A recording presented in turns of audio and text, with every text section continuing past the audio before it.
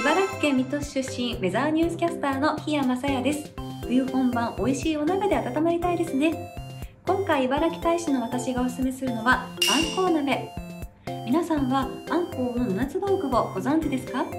肝、胃、皮、ヒレ、エラ、卵巣、身の7つの部位を7つ道具といってあんこう鍋では定番の具材となっています。7つ道具全部覚えられましたか？